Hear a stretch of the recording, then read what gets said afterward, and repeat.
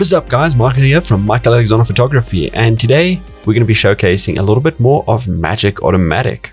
Now I want to showcase a little bit more of Magic Automatic for you portrait photographers out there. Now Magic Automatic is a big friend to images that showcase a lot of skin. It is definitely very popular in the glamour community, but don't count it out of the portrait field just yet. This is an image I shot a while ago and I thought this would be a really cool image to showcase a little bit of Magic Automatic on. It is something I've shot quite a few times. Now, I did say Magic Automatic does enjoy a lot of skin, but th- her showcasing a lot of skin is not what I meant.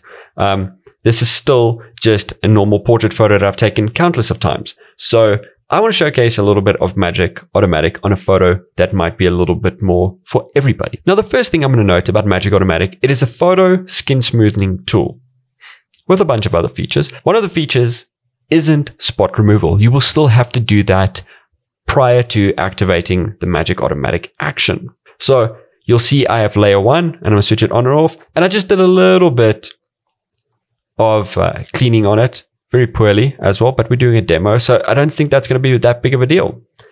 Now, this is a very clean image and it wouldn't take me too long to edit myself. But we're going to do it with Magic Automatic because it's a click of a button. And we're going to literally do it with Magic Automatic, not Magic Semi-Auto that I did in a previous edit. But again, I like having layers. So we're going to choose Magic Automatic with layers because I do like being able to kind of uh, change the opacity a little bit in some of the layers because sometimes it's a little bit harsh. So we're going to keep with Magic Automatic with layers. So while it's doing its thing, the big difference between Magic Automatic and Magic Semi Auto is the fact that you don't have any choices to make when playing with Magic Automatic. In Magic Semi Auto, you're going to be able to choose surface blur, levels, and also being able to choose the medium blur levels. So those are things to just keep in mind if you're choosing which one to use. If you just want to quickly get an edit out, get it ready for Instagram, definitely try Magic Automatic. It does a great job all on its own.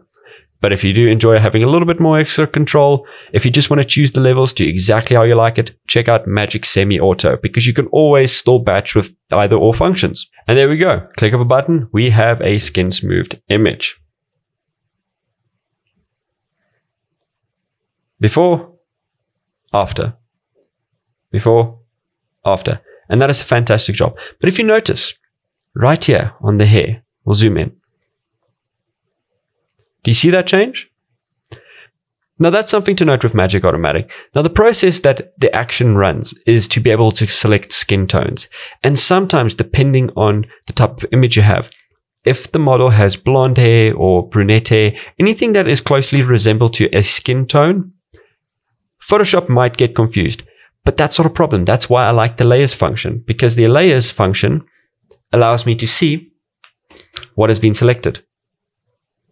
And as you can see, the lips have been selected, which we are going to brush out, and also the hair, which is as simple as changing to a brush and changing it to black because we are trying to fill in. And then all you do is just brush. Now we're just going to do a dirty job because we're just doing this for demo purposes. But you just quickly brush all the hair out. I'll just narrow it down so we don't affect the hand too much. We're going to brush out the lips. I honestly like brushing the lips in the color layer, not on the mask, because I can look at the edges a lot better. There we go. There we go. And that is that done. But again, also something to notice is under her chin. As you guys can see, that is dark.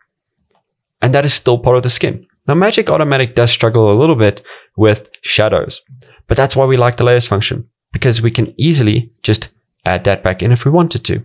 And there we go. Now, the thing is also with shadows, it's also very difficult to see if your skin's moved or not. But, you know, if that is something you want to do, it is built in with that capability. Now, cool. How epic is it that we did a whole skin smooth on an image this quickly, hey? How cool is that? Let's zoom into her face just so you guys can see, because that's obviously what you're going to worry about the most is as a portrait photographer is her face. Now I can look everywhere. It's done it everywhere. There we go. How cool is that? Even on the hands. And like I said, the one thing that I love about having layers at my disposal is being able to change the opacity so that it's not as harsh. But we're not going to worry about that because I quite like this. I want to showcase you guys another thing. You'll also notice, and what I'm going to do is I'm going to switch the texture off. One thing about skin smoothing is it always removes texture. But what I really like about Magic Automatic is it comes with this layer called Original Texture Extract.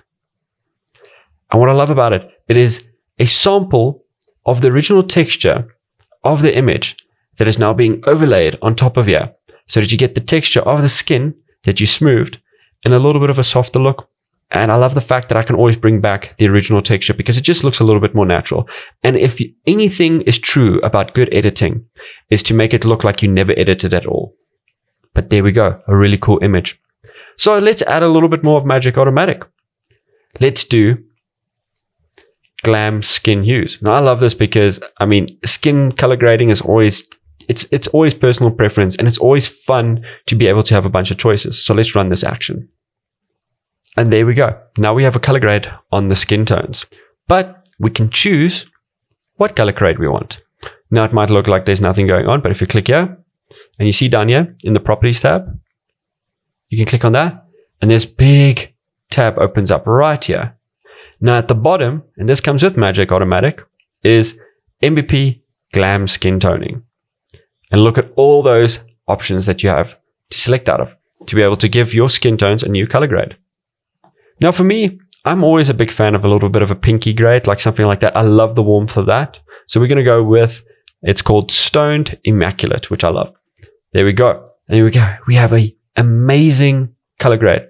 Again, the hair was selected.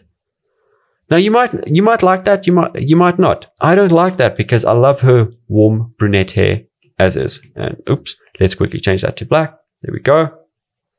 Again, just quickly brushing out the selected areas of the hair. And there you go. You are done. Now, I don't mind that it's atta- attached to the lips. I think it kind of adds to it, which is nice. But look how quickly we got a whole edited portrait photo. Now you can also, what's nice is you can change the opacity on it. I'm going to change it to 80% because we don't need it to be that powerful. There we go. And now for the final step, we want to send this off to Instagram, right? So firstly, let's run IG prep auto orientation. So what this is going to do, it's going to compress it down to a file size that Instagram prefers. And then it's also going to sharpen it so that the image is of nice quality when you do post it. So it's not going to compress it down and kind of smush everything together. We're going to sharpen it as well, all in one action to make it Instagram ready. So also, if you guys want, this image has been as taken in camera. We haven't cropped anything yet. So when you're posting on Instagram, it prefers the 4x5 ratio. We also have the IG Prep 4x5 vertical bars or vertical blur. I'm going to choose the bars just because and there we go. Now the image is also the perfect size for Instagram. So not only have we skin smoothed the image without having to do much other than masking out the hair, we have color graded the image. Again, just having to mask out the hair. We have also compressed and sharpened the image to make it Instagram ready and add crop bars all in this time. Isn't that fantastic? So, you portrait photographers out there, if you are looking to speed up your workflow and you want to get some really high end results and you are thinking about getting Magic Automatic, I definitely highly recommend it. And that is the end of today's video. Hope you guys enjoyed this video. I had a lot of fun making it because I shoot a lot of editorial and portrait style stuff as well as doing some fitness and glam. So if you guys want to, you can check it out on my Instagram if you want to see what type of work I do other than what you see on the YouTube channel. Definitely go check it out. But also, please leave a comment down below. You know, let's start some conversation. Is there something you would like to know about the NBP Magic Automatic? Is there something that you might like to know about some of the other NBP products? Would you like to know our favorite NBP products or my favorite NBP product? And I can definitely do a video on that for you guys. But that is all for today, guys. Hope you guys enjoyed this video. I'm Michael Alexander, and I'll see you guys next time. Bye bye.